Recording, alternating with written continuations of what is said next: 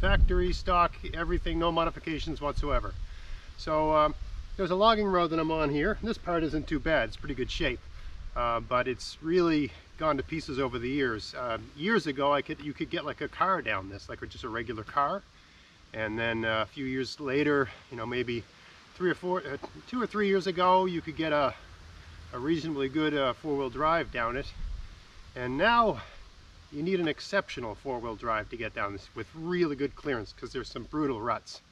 Um, and this is a place I love to come to to hunt and fish uh, and camp out and stuff like that. It's just uh, what they call crown land, you know. In Canada, there's land that's owned by the Queen. You can sort of go there and play, right? You know, hunt, fish, camp, stuff like that.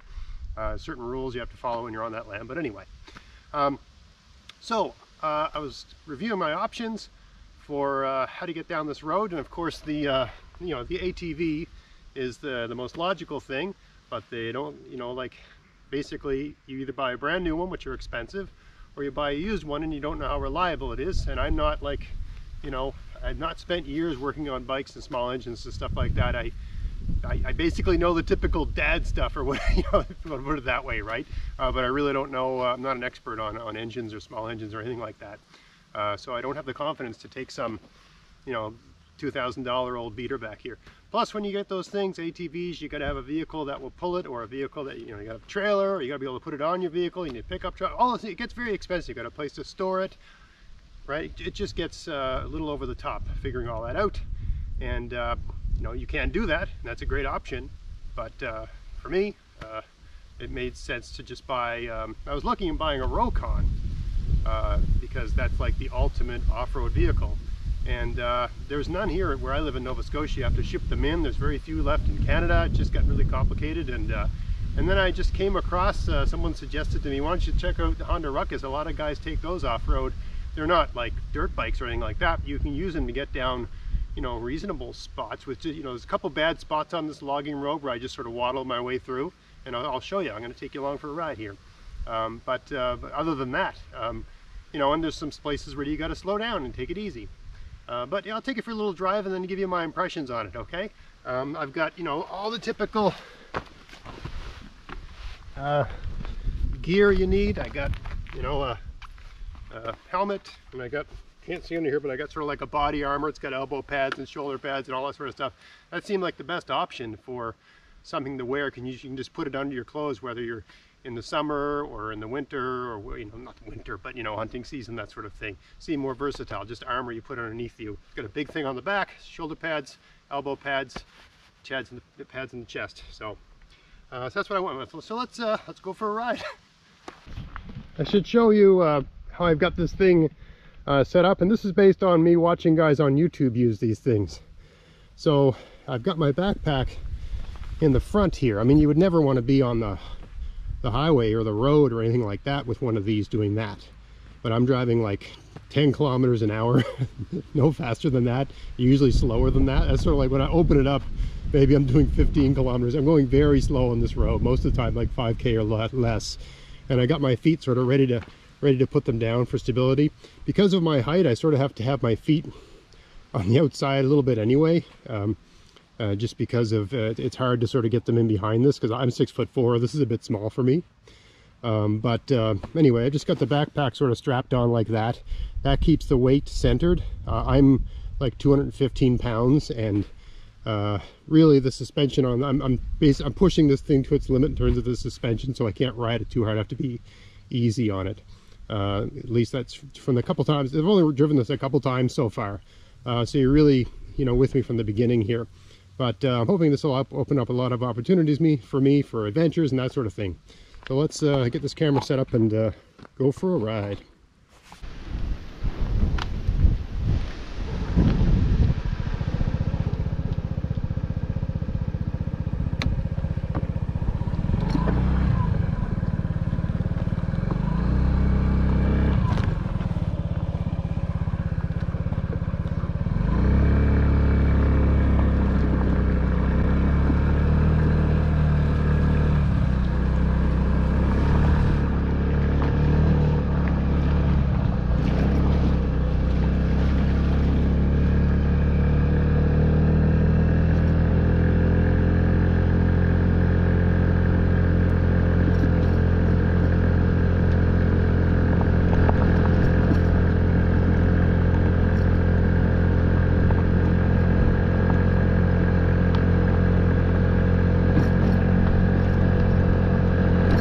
I'm going about 20 kph right now. It's about as fast as I want to go on this. Just with the suspension the way it is, uh, I can just feel it's not bottoming out on on everything, but any any serious rock, I can actually feel it. You can see the road here isn't that bad. It's a pretty good road at this stage anyway. You'll know when it's bad because I slow down. I slow way down.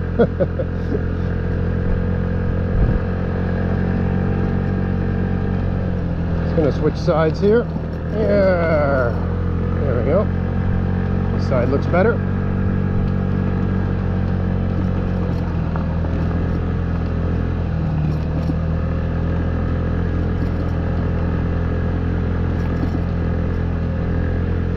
I wouldn't want to put this in a bad rut, that's for sure. You know, you can sort of feel it. It's not, it is not a dirt bike. I can't stress that enough.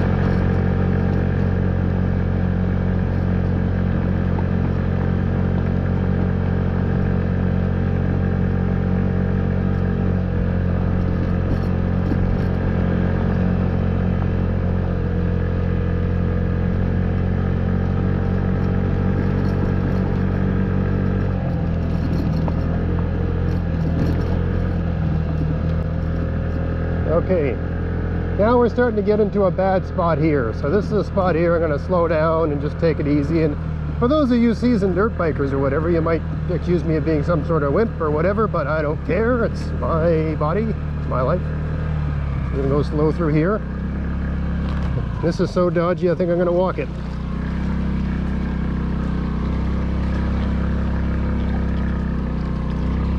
I'm to get up on this hump if I can.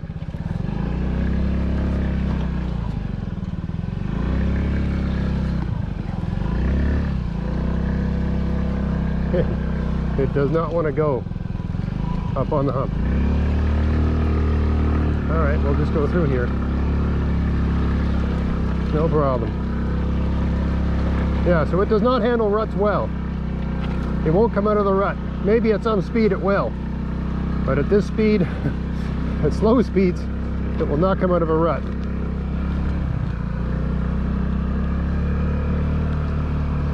And from this point onward, the road's pretty pretty crappy. Very rutty, a lot of ruts. And wet, everything's wet and muddy and greasy. And these tires have no traction at all. I think if I could find some sort of chains or something like that to put on, I think it'd make a huge difference. This thing just wants to slide all over the place. Don't want to get up here maybe. Yeah, see it it does not like the ruts. Where is the best? I mean, you can just waddle. That's an option. I think it's I think it's better over here. Yeah, this is better. You can waddle, that's an option.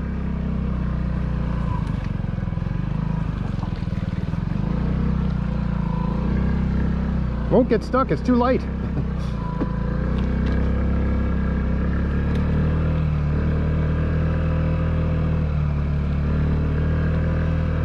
You just take it easy and take your time. Don't take any risks. It's my opinion. You're out here by yourself in the middle of nowhere. This is rural Nova Scotia. If I fell down off this bike and was unconscious, people, no one, people, I mean, it's almost deer season, so there's probably some, uh, it's not deer season yet. There's probably some muzzle loader guys in the woods right now. Um, but uh, maybe, maybe not down this road, right? Really, it's crapshoot. This is Nova Scotia. We don't have a large population, and if you're on a logging road in the rural part of the province, uh, you might not see anybody for days or weeks or more. So uh, you have to be careful when you're by yourself. Uh, I got a cell phone, right? But that's basically the only backup I've got is the phone. Okay, this is a lousy spot here. Kind of ruddy. Whoa. Yeah. There's an even worse spot up here. I know this road, that's why I'm sort of narrating this. Much worse spot up here where I, I cannot get my... Uh... So everything that we've gone through before, if I'm very careful, I can get my Honda Pilot through, which doesn't have the best uh, clearance. But this spot, it may look okay, but this is this is as soft as pudding here. And there's no shoulder on either side to get up on. Basically, it's just a big rut and a big rut. Uh, with an ATV, but not a big deal. But uh, with uh, just an SUV or a pickup truck or whatever, you just don't have it. All right, we got through that. Okay, we got through it. Perfect.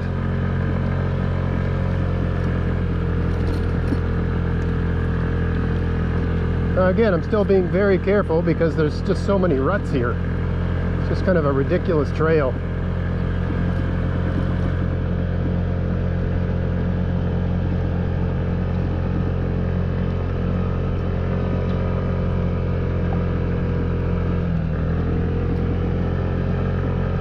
main thing you have to be ready to do is to take to let off the throttle if anything weird if you feel like you're losing control you know hit the brakes take your hand off the throttle Get it back under control. Do not accelerate.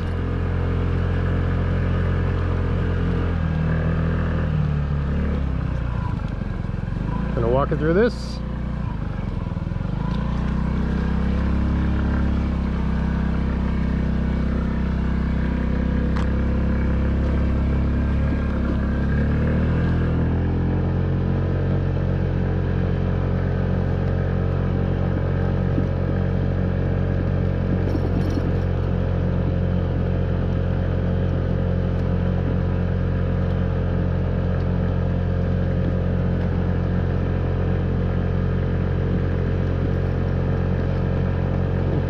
Rut has the more even ground, but you can't steer left or right. It's You're just much more likely to tip the thing in the rut.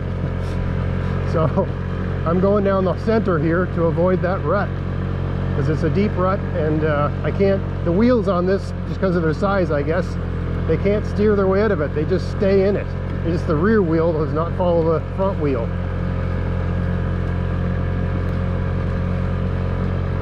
Not bad though, not bad at all. And you can see we're getting to a part of the road that, uh, you know, doesn't even look like a road, but it's at some point in time this was a regularly graded logging road. And now it's just, uh, it's, it's, it's still a logging road, but uh, the province or the crown doesn't maintain it anymore. I'm going slow here just because this looks a bit dodgy, so I'm just walking my way through. In the friction zone, as they call it that feels right. When I'm doing this sort of stuff, I never let fear stop me from trying things, but I do let fear tell me what to do. That is to say, I, I listen to it. If something feels wrong, uh, slow down, stop, think, right? Don't let fear rule your life, but listen to it, learn from it, use it as a thermometer for risk because your your brain's pretty good at you know knowing when you're at risk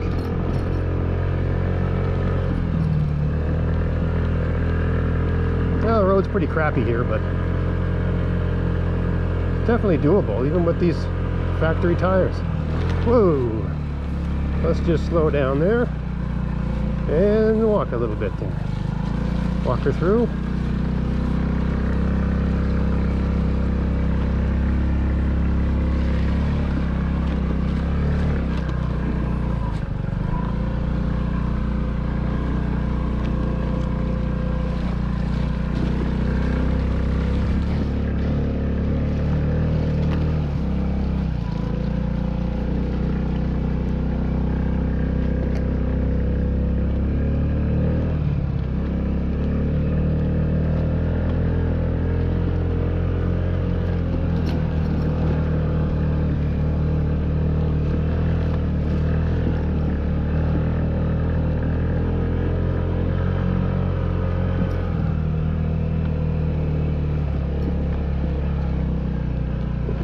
Another lousy spot here. Don't know how deep this is. Just walk her through.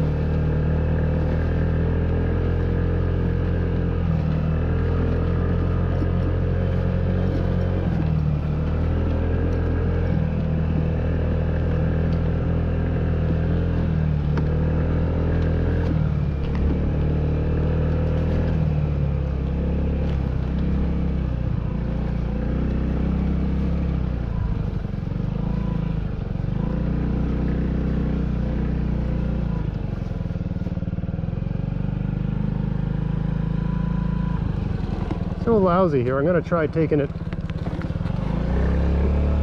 over in the shoulder here. See what this is like.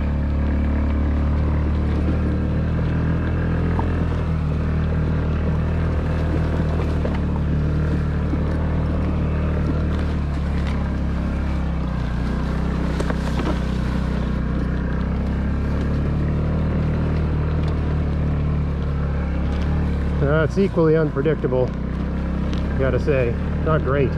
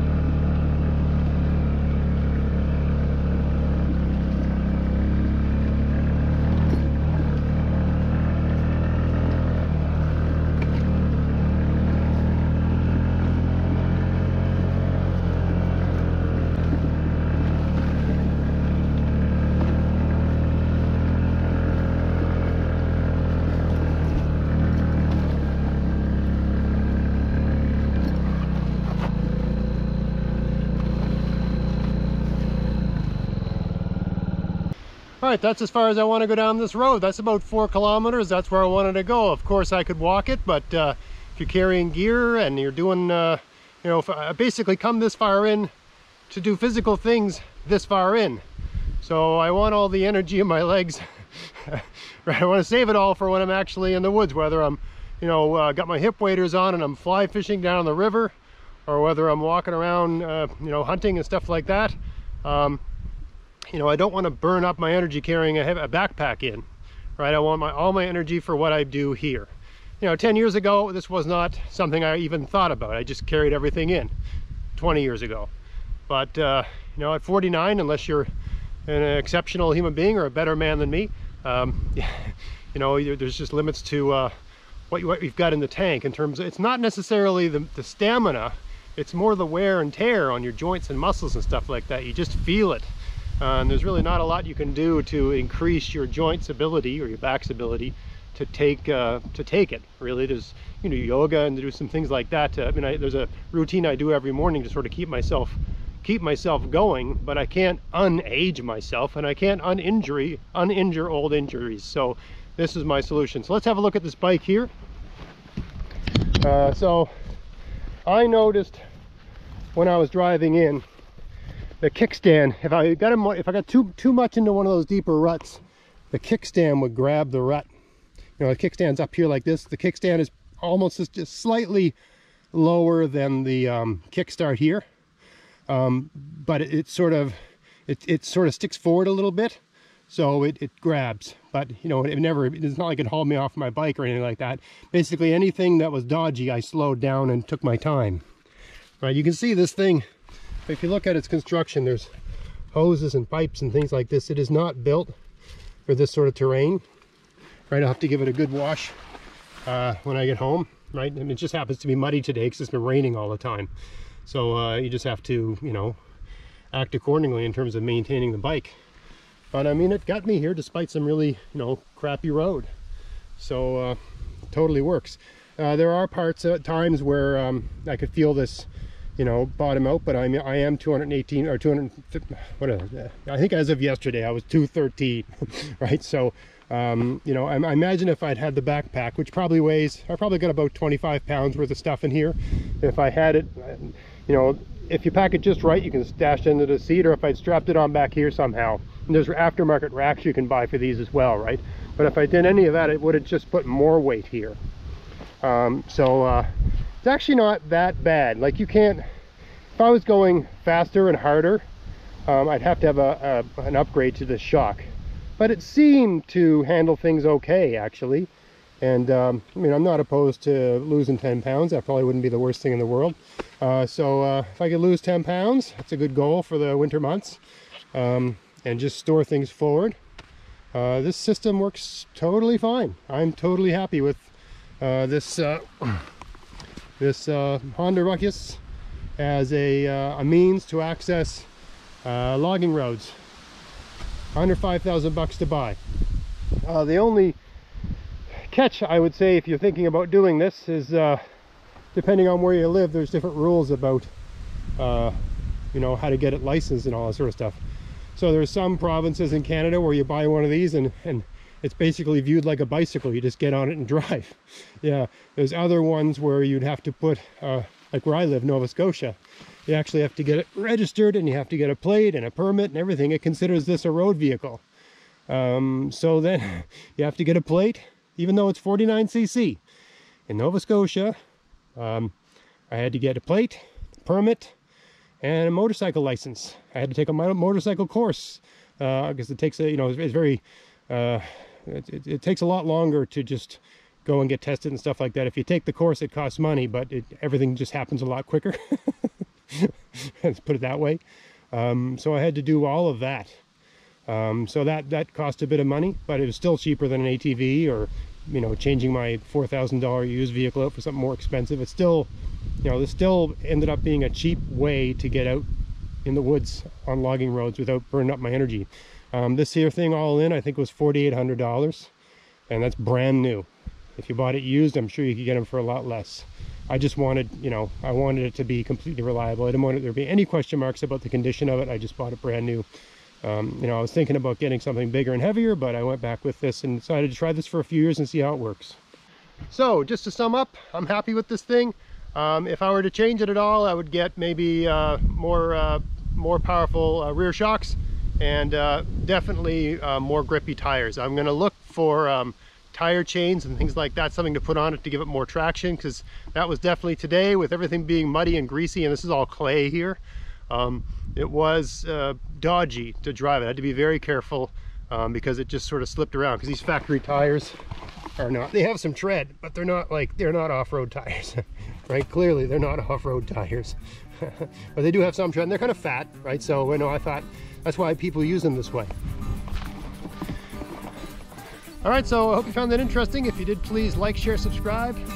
And until next time, enjoy the outdoors on the cheap. Thanks for watching.